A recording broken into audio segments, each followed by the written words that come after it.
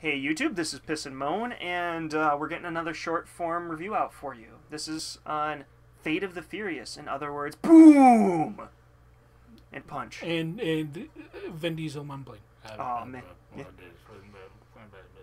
So Family, one last ride family, with family, family. family.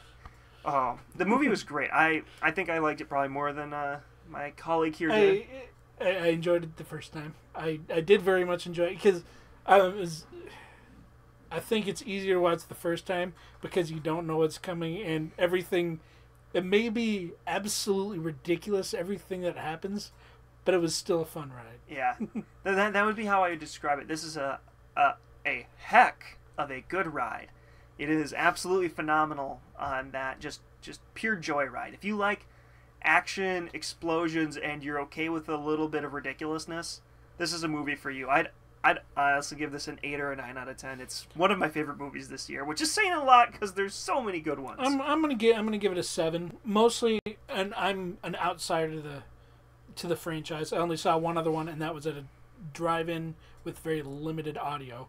So, as an outsider, I'd say give it a seven out of ten. It's it's a fun movie. All the action's cool and good. And Is that even within genre? Because of similar style movies, this has got to be one of the best.